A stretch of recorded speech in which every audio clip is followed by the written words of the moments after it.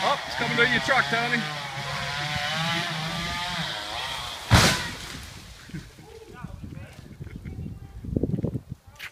Where's the bees?